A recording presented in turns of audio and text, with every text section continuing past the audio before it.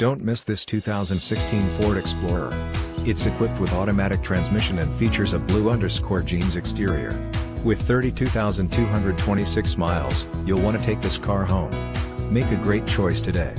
Contact us and see this car firsthand.